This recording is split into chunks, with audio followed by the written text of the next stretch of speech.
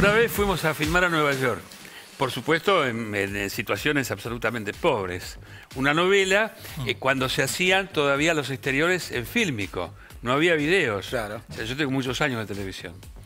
Este, sin permiso, sin nada. Claro. Casi sin hablar A los inglés. ponchazos. Y entonces estaba, en el último momento de la filmación, estaba el técnico cambiando el rollo de la cámara. Y para cambiar el rollo de la cámara, metían la cámara dentro de una bolsa, el chasis, donde va la película, dentro de una bolsa negra, y ahí adentro hacía toda la operación el tipo, para cambiar el rollo. Y, se acerca un, un tipo, un vecino, y dice, ¿qué está haciendo?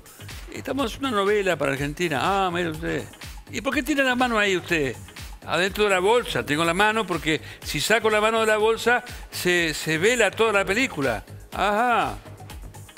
¿Y eso qué es? La cámara donde se hace la película.